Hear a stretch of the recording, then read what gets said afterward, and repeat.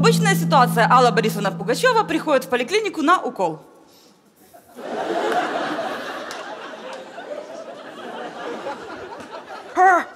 Я еще не колю, не колю. Я еще только набираю лекарства.